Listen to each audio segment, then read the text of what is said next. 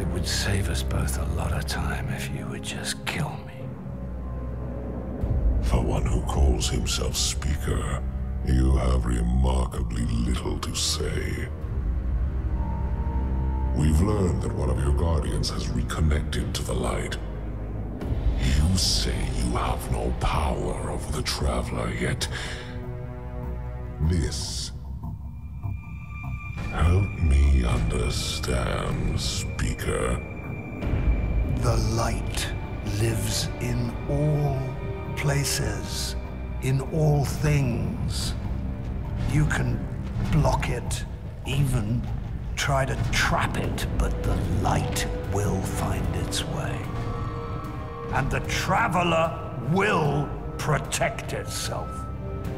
The Traveler. For I have studied it. The worlds it has touched. Its power over life and death. We are not so different, your Traveler and I. You are nothing like the Traveler. Nothing. You think you have power, control. I know your kind. You started small. You will end small.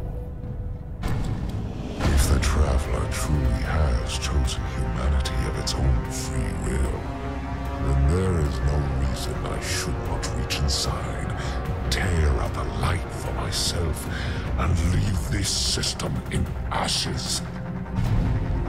Only those the Traveler chooses will be reborn in the light. Yes. This I know. This is why I have claimed your planet, and why you still live. The Traveler will choose me, Speaker. And you are going to tell me how.